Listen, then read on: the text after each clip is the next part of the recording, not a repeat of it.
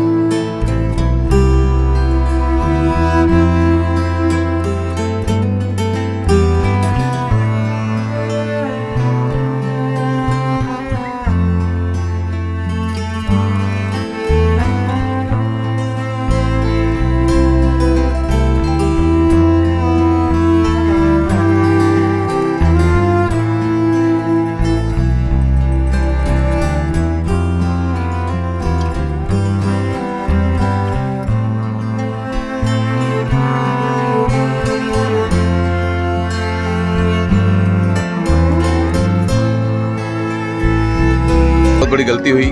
Next Diwali में आपको यहाँ के नज़ारे ज़रूर दिखाऊँगा। फ़िलहाल आप देख सकते हैं, ये राम घाट का नज़ारा है। तो आज मैं इस वीडियो में आप सभी को कुछ खास जगहों के बारे में दिखाने वाला हूँ। अयोध्या के कुछ खास जगहों को दिखाऊँगा। और यहाँ पर पंचकोसी परिक्रमा भी चल रही है। उसको भी मैं दिखाने की कोशिश करूँगा आपको। लाखों की भीड़ यहाँ आई हुई है। आप मेरे पीछे एक छोटा सा सैंपल एग्ज़ाम्पल देख सकते हैं। लाखों की भीड़ है यहाँ पर। मतलब बहुत सारी खास पहलुओं को आपको इस वीडियो में मैं दिखाने वाला हूँ। तो आइए शुरू करते हैं। अयोध्या, भारत के उत्तर प्रदेश राज्य का एक प्रसिद्ध ऐतिहासिक और धार्मिक नगर। अयोध्या बहुत प्राचीन नगरी है, जहाँ प्रभु श्री राम का जन्म हुआ था। यह पवित्र सरयू नदी के तट पर बसा हुआ है। इतिहास में इसे कौशल जनपद की राजधानी भी कहा जाता था।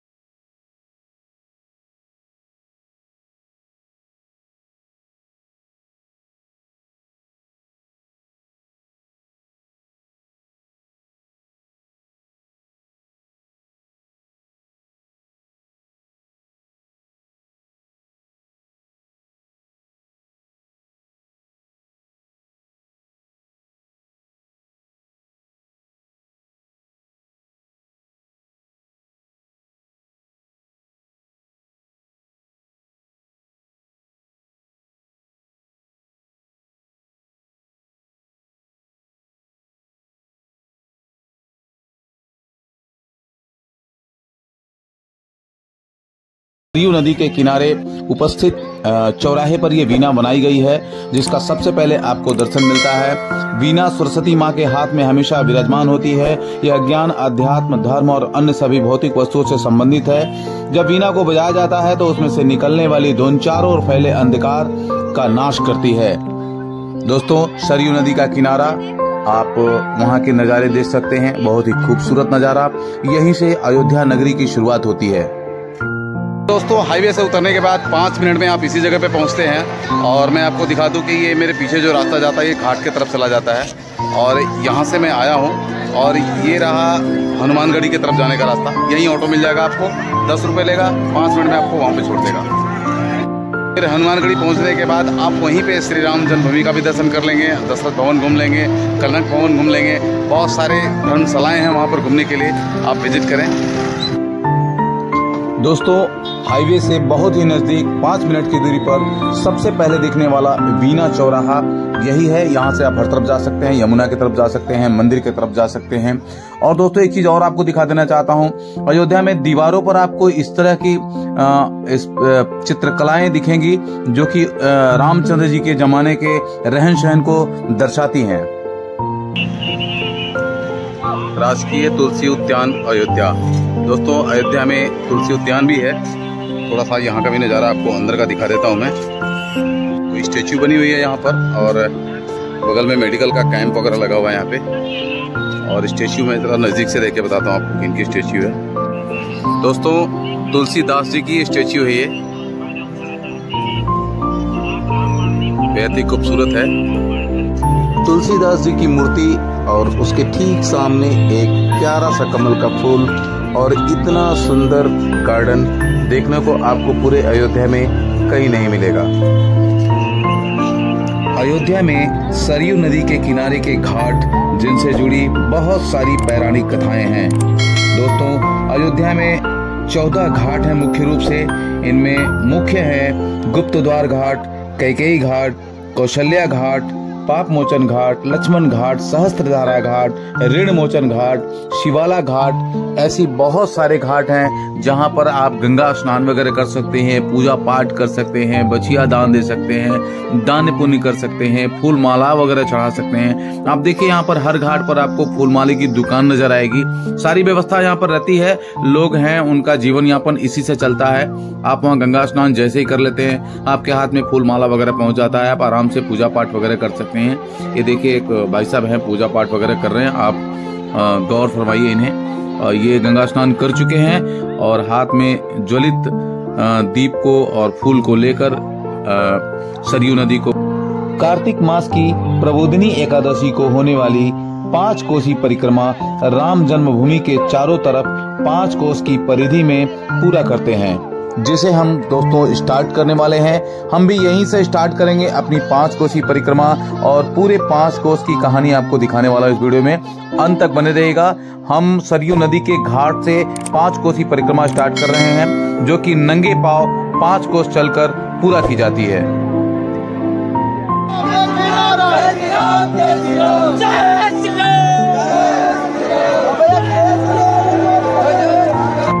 ऐसा माना जाता है कि परिक्रमा की परंपरा आज से नहीं, बल्कि कई सदियों से चली आ रही है।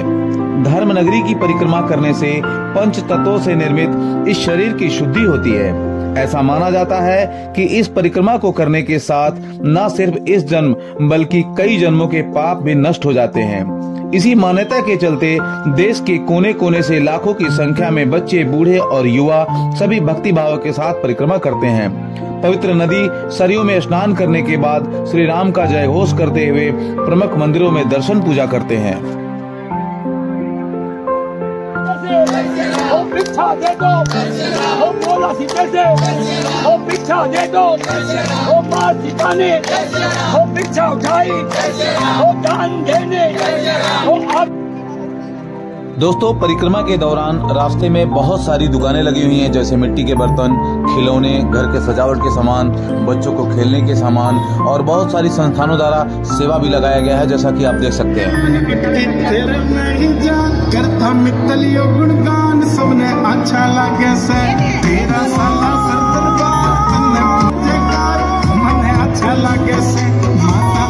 यहाँ पर संस्थानों द्वारा फ्री में श्रद्धालुओं के लिए चाय और बिस्किट बांटी जा रही है।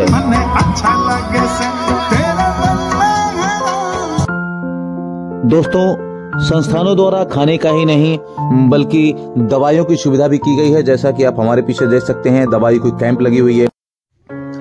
दोस्तों यही बगल में सरयू नदी के किनारे राम घाट पर एक बहुत बड़ा गार्डन भी बना हुआ है जिसे राम घाट गार्डन के नाम से जानते हैं। लोग पाँच कोसी परिक्रमा करते हुए रास्ते में यहाँ पर बैठकर आराम वगैरह फरमा रहे हैं। आप देख सकते हैं जैसा कि थोड़ा बहुत समय लोग यहाँ भी व्यतीत कर रहे हैं, जिससे कि हँसते खेलते पाँच कोस की परिक्रमा पूरी हो जाए। आप देख सकते हैं कुछ लोग बैठे हुए हैं, कुछ लोग खेल रहे हैं, कुछ लोग सो रहे हैं, कुछ लोग ग्रुप में बैठकर बातचीत कर रहे हैं, कुछ लोग खाना वगैरह, नाश्ता वगैरह कर रहे हैं, ताकि उनका समय आसानी से पार हो जाए। दोस्तों 11 बजे का समय लगभग हो रहा है, और ये देखिए, कुछ बच्चे हरकत करते हुए, गार्डन का नज़ारा है ये। आइए, आगे की तरफ़ चलते हैं, और देखता हूँ मैं यहाँ पर कुछ वृद्ध लोग भी आराम कर रहे हैं। ये लोग भी पाँच कोसी परिक्रमा करके आए हैं, दोस्तों। मैंने इन्होंने, इनको रास्ते में देखा है। और इसके बाद हम फिर आगे की तरफ़ बढ़ रहे हैं। आप एक बार भीड़ को ध्यान दीजिए। इतनी बड़ी भीड़ और पाँच कोस की दूरी में यही भीड़ नज़र आएगी आपके पूरा पाँच कोस में। दोस्तों हमारी पाँच कोसी परिक्रमा लगभग पूरी होने वाली है, क्योंकि आप देख सकते हैं, जिस सरयू नदी के किनारे से हमने परिक्रमा स्टार्ट की थी, हम वहीं पहुँचने वाले हैं। आप देखिए, ठीक सामने सरयू नदी दिखाई दिखाई दे रही है, और आगे 200 मीटर की दूरी पर हमने परिक्रमा स्टार्ट की थी, और अभी यहीं पर हमारी परिक्रमा भी समाप्त होने वाली है, और फिर हम यहाँ से स्नान करने के बाद हम हनुमानगढ़ी के तरफ़ बढ़ेंगे, और वहाँ श्री रामचंद्र जी के मंदिर के दर्शन करेंगे, दशरथ भवन के दर्शन करेंगे, कनक भवन के दर्शन करेंगे। जाने के पहले मैं एक बार फिर से आपको घाट के नज़ारे दिखा देना चाहता हूँ। लगभग साढ़े ग्यारह बजे का समय हो रहा है और इस तरह की कुछ भीड़ भाड़ यहाँ घाट पर लगी हुई है। लोग नहाना धोना गंगा स्नान दान पुण्य कर रहे हैं। तो दोस्तों, अभी मैं अयोध्या के राम घाट पर पहुँचा हुआ हूँ। आप देख सकते हैं हमारे पीछे कितनी भीड़ भाड़ है और बहुत सारे श्रद्धालु पूरे भारत से लोग यहाँ आए हुए हैं और पंचकोशी परिक्रमा चली जैसा कि मैं आपको बता चुका हूँ। तो आप मेरे पीछे देखिए, पंचकोशी परिक्रमा वाले पीछे से परिक्रमा भी कर रहे हैं और हम वही करके यहाँ पर पहुँचे हैं।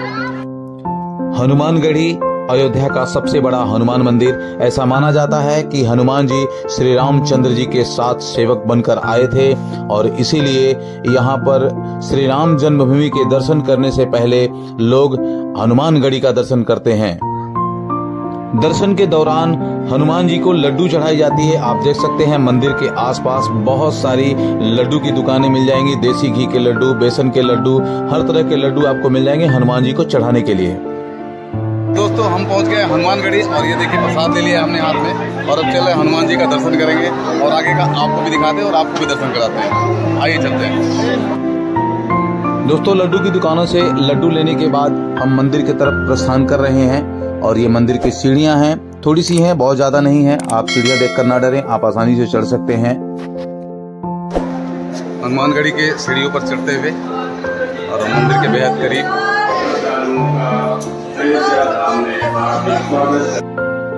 अयोध्या के मध्य में लगभग छिहत्तर सीढ़ियाँ की ऊंचाई चढ़ने के बाद हम पहुँच गए हनुमानगढ़ी मंदिर। दोस्तों, यहाँ पर दीवार पर हनुमान चालीसा और बहुत सारे दोहे वगैरह दर्शाए गए हैं और कुछ संत महात्माओं के नाम भी दर्शाए गए हैं, जिन्होंने इस हनुमान मंदिर के लिए बहुत कुछ त्याग किया और तपस्वी बने। दोस्तों, हनुमानगढ़ी मंदिर का दृश्य आप देख सकते हैं। बहुत ही करीब से एकदम मंदिर के ठीक सामने मैं खड़ा हूँ और ये बड़ा सा घंटा लगा हुआ है। मंदिर के ठीक सामने ही घंटा लगा हुआ है, जहाँ पर आप खड़े होकर भगवान के दर्शन कर सकते हैं। बगल में दीप, बत्ती, अगरबत्ती जलाने की अलग से व्यवस्था है। आप जला सकते हैं।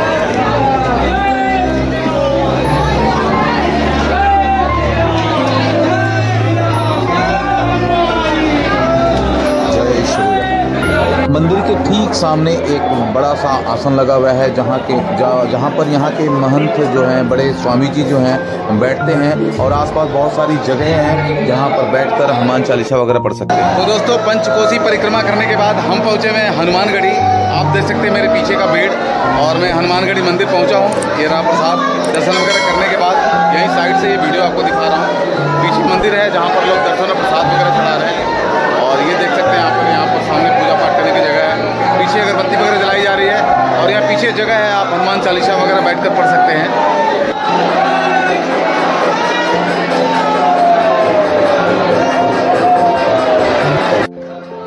मंदिर का बहुत ही सुंदर और लुभावना दृश्य, जो कि बहुत ही करीब से मैं आपको दिखा रहा हूँ।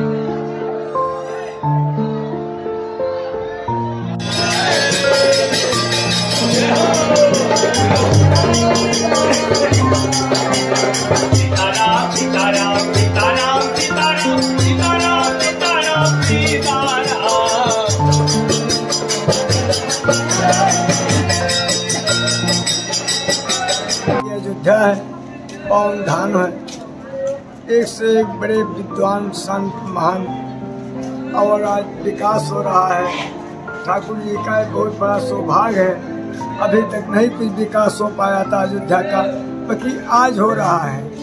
अभी भगवान ही का कृपा है और भग... दोस्तों, हनुमानगढ़ी दर्शन के बाद आप देख सकते हैं, ये हनुमानगढ़ी मंदिर से बाहर निकलने का द्वार है। जहाँ से हम बाहर निकलेंगे और बाहर निकलने के बाद अब हम दशरथ भवन के दर्शन करने वाले हैं। तो दशरथ भवन की तरफ़ चलते दोस्तों। ये देखिए बड़ा सा दशरथ भवन सामने दिखाई दे रहा है। कुछ रिपेयरिंग का काम चल रहा है, इसलिए सब कुछ आपको करीब से नहीं दिखाया जा सकता। फिर भी मैं अंदर ज़रूर चलूँगा और आपको अंदर के नज़ारे दिखाऊँगा करीब से। जैसा कि आप देख रहे हैं, हम कनक भवन के गेट पर पहुँचे हुए हैं और ये बड़ा सा दरवाज़ा, आप देखिए। लकड़े का अरे बाप रे, इतना बड़ा दरवाज़ा। मैंने अपनी लाइफ में पहली बार देखा। ये देखिए, लकड़े का दरवाज़ा है ये सब। ये लकड़े का दरवाज़ा है बड़ा बड़ा श्री रामचंद्र जी के ज़माने का। और ये दरबार का गेट था। छोटे छोटे कमरे इसके अंदर बने हुए हैं। और आगे मंदिर है, वहाँ भी चलते हैं तो दोस्तों, दशरथ भवन के अंदर मैं पहुँचा हुआ हूँ। आप देख सकते हैं, ये दशरथ भवन का मंदिर है। और, लगभग डेढ़ बजे का समय। तो सब कुछ बंद है, लोगों को बाहर किया गया है, क्योंकि अभी भंडारे का समय आप देख सकते हैं, सामने से जो लोग निकल रहे हैं, वो भंडारे से बाहर आ रहे हैं। मैं भंडारे की तरफ़ आपको ले चलता हूँ चलता हूँ और दिखा रहा हूँ आपको। ये देखिए, अंदर हज़ारों की तादाद में भंडारा चलता है। दोपहर को भी, शाम को भी, दशरथ भवन के अंदर अगर आप कभी पहुँचे तो भंडारे का आनंद वहाँ ले सकते हैं। दोस्तों, अयोध्या में स्थित श्री राम जन्मभूमि मंदिर जाने का मार्ग है यहाँ से और हम वहीं अब प्रस्थान कर रहे हैं। बसरते, हमें वीडियो बनाने की परमिशन नहीं है वहाँ। हमें नहीं किसी को परमिशन नहीं मिलती अंदर वीडियो बनाने की। आप आसपास के नज़ारे देख सकते हैं, चौड़ी सड़कें और बहुत कुछ नया निर्माण हो रहा है वहाँ पर, जो कि आगे की वीडियो में मैं आपको दिखाऊँगा। एक छोटा सा द्वार दिखा, ये दूसरा दरवाज़ा है जन्मभूमि की तरफ़ जाने का।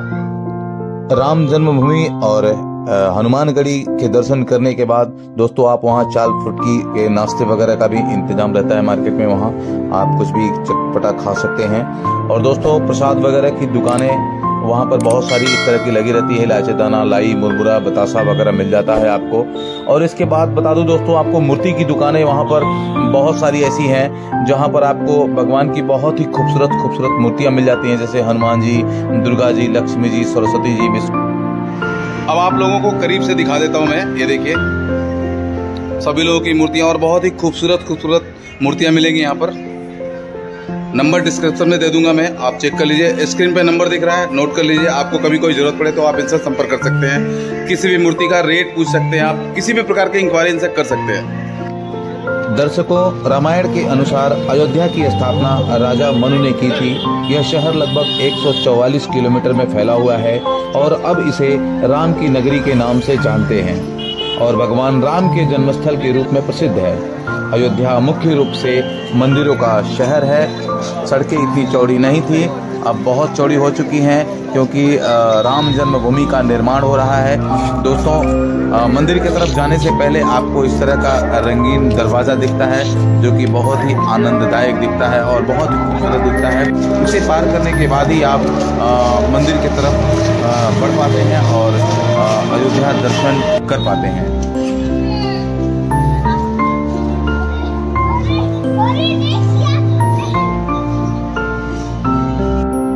तो दोस्तों, आज के लिए बस इतना ही। उम्मीद करता हूँ वीडियो आपको अच्छी लगेगी। पूरा अयोध्या मैंने दिखाने की कोशिश की है। भरपूर कोशिश की है। कोशिश नहीं, भरपूर कोशिश की है। फिर मिलते हैं अगले वीडियो में। तब तक के लिए जय हिंद, जय भारत, जय श्री राम।